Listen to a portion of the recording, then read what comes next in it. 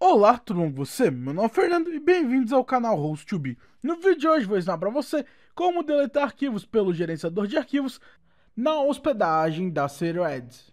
Mas antes, já deixa seu like nesse vídeo e se inscreve no canal para estar apoiando nossos tutoriais. Então a primeira coisa que a gente precisa fazer é estar acessando o gerenciador de arquivos. Caso você não saiba como fazer, basta assistir o primeiro tutorial aí na descrição. Então após acessar o gerenciador de arquivos, para estar tá deletando os arquivos do seu site é realmente bem simples. Então a primeira coisa que a gente precisa fazer é estar tá acessando a pasta que você deseja estar deletando esses arquivos. Eu vou acessar a pasta public underline html onde estão meus arquivos, então basta dar dois cliques acessar. E aqui eu quero deletar todos esses arquivos que estão aqui dentro dessa pasta.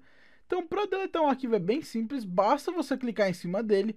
Então caso você queira deletar apenas um único arquivo, basta clicar em cima ou caso você deseje deletar vários, basta ir clicando em cima deles com o Shift do seu computador selecionado. Então eu quero deletar todos esses arquivos.